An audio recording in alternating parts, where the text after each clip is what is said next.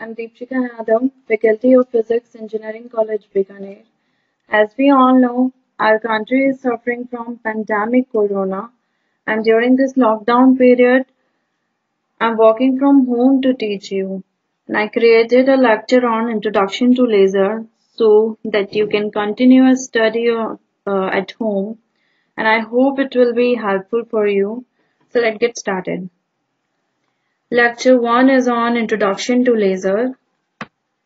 So, what is laser?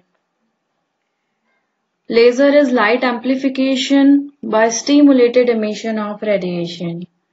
It means this is the process of amplification of any light It is done by stimulated emission.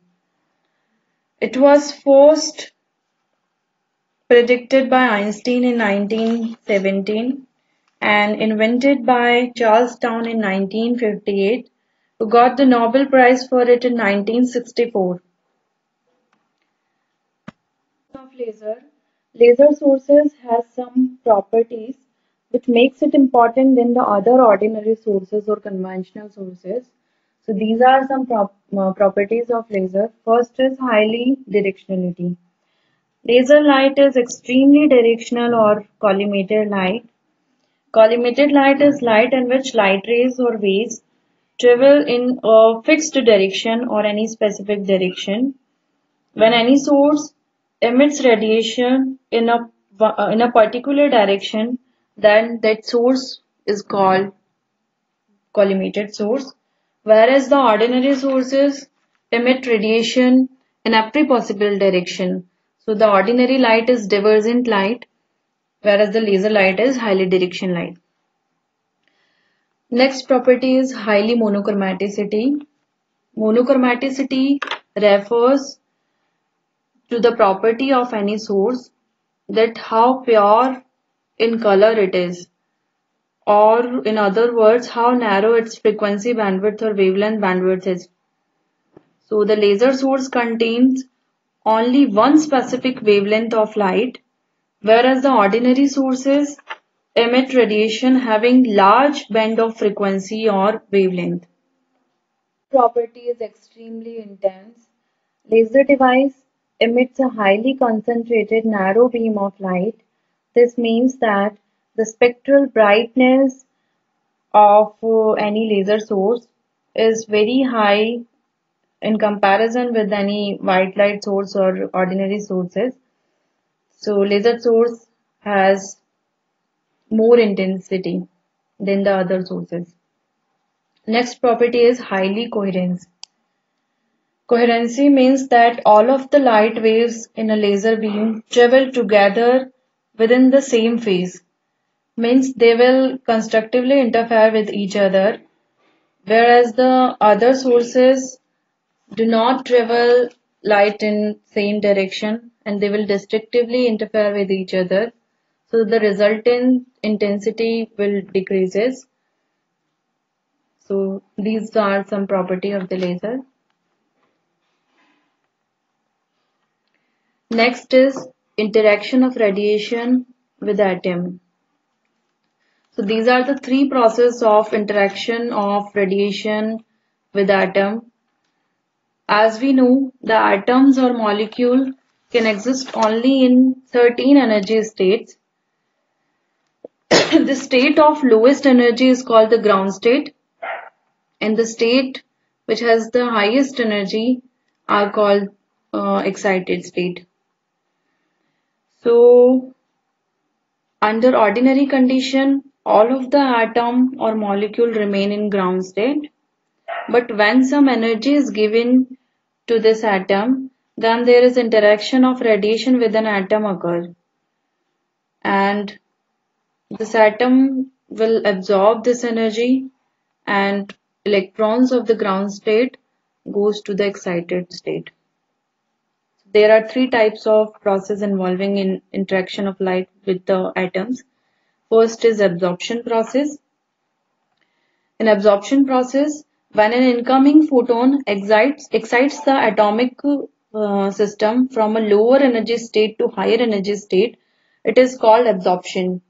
It occurs when a photon strikes an atom with just exactly the proper energy to induce an electronic transition between these two energy states. So suppose E1 is the energy of ground state and E2 is the energy of excited state.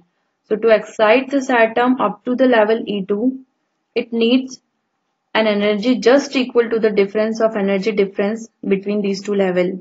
So the energy of incident photon must be equal to the energy difference between these two levels. E2 minus E1 is equal to h nu. And the probability of this transition depends on incident energy density. So as um, incident energy density increases, more electron will go up to the excited level E2. These are some, uh, these are two emission process. First is spontaneous emission and second is stimulated emission. Spontaneous emission occur in ordinary sources whereas the stimulated emission occur in laser sources only. So the spontaneous emission we know that the atom has a very small lifetime.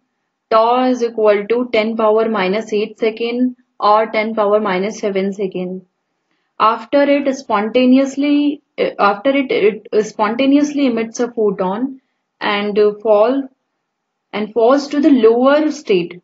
When it comes to the ground state, it emits a photon with energy equal to the energy difference between these two levels, which is h nu. But in the spontaneous emission, phase and direction of emitted photon will be irregular. So the emitted radiation will be incoherent and random.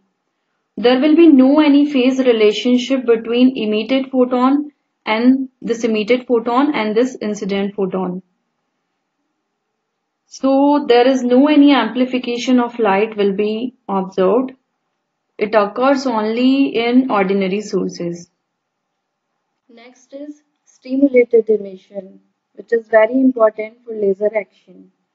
So the stimulated emission is an induced emission which is done by some external radiation. So here is some external radiation is required, some external energy is required. So this is called induced emission. In this process, when a photon of proper frequency interacts with an atom, it is not essential that this photon will be uh, uh, absorbed by ground state electron. It may also interact with excited state electrons. And so uh, so this process is called induced emission. And there will be definite phase relationship between the emitted photons and the incident photon and here amplification of light is observed because here in uh, stimulated emission there are two photons emitted whereas in uh, uh, spontaneous emission only one photon is emitted. So to achieve this laser process we have to enhance the rate of stimulated emission than the spontaneous emission and the probability of this uh, stimulated emission depends on incident energy density and the number of atom in the excited state. So to, uh, so to increase the uh, rate of stimulated emission, we have to increase the population of electron in excited state and the incident energy density.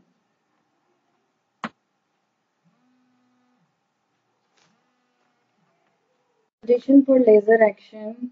So there are three conditions for laser action or for enhancing the rate of stimulated emission. So first is the spectral energy density of incident radiation must be made very high. To increase the energy density, the emitted radiation is reflected coherently again and again between two parallel mirrors facing each other this arrangement of uh, parallel mirror is called cavity this cavity is, uh, is called active medium. This active medium can be liquid, solid or gas. In different type of laser, different type of active mediums are used. So in this medium, the incident radiation is made to reflect back and forth between uh, between the mirror and creating more stimulated emission so can produce a highly coherent beam of light. The method is to increase the probability of stimulated emission is to maximize the value of lifetime of excited state. For this process, some metastable states are used. We will discuss about this, these metastable states in our next slide. And the third process for increasing the rate of stimulated emission is the number of electron in excited state must be greater than the number of electron in lower state. This condition is called inversion. Metastable states. Metastable states are the excited state of any atom having lifetime 10 power minus 3 second which is greater than the lifetime of ordinary excited states uh, 10 power minus 7 second or 10 power minus 8 second. So the probability of spontaneous transition involving these metastable level is relatively low. So by using these metastable state, the probability of stimulated emission is enhanced. So here are some stimulated emissions are shown. Next is population inversion. Population inversion is the condition when the number of atom in excited state exceeds the number of electron in lower states. For this condition, we have to invert the normal equilibrium condition because we know that in normal equilibrium condition there will be more electron in ground state and less electron in excited state. And to invert this condition, we have to pump some electrons, some you know, ground state electrons, uh, electrons to the excited state. For this uh, pumping methods are used. So these are some pumping method optical pumping, electron impact pumping, inelastic atom-atom collision, chemical pumping, gas dynamic pumping. Pumping is the process in which some electrons of ground state is pumped to uh, up to the excited state. So in different type of lasers, different type of pumping methods are used This is the component of laser. Here uh, the component of lasers are shown. This is the lasing medium or active medium in which any gas, liquid or solid is used. Again different type of laser sources, different type of uh, active medium is used.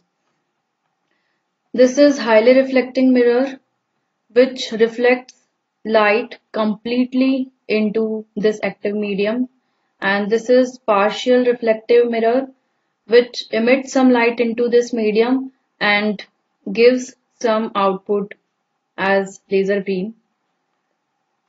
This is pump source which pumps electron from ground state to excited state to achieve the condition of population inversion. So this is the components of laser. So this was the introduction, brief introduction on laser. We will discuss in our next lecture about laser sources. Thank you.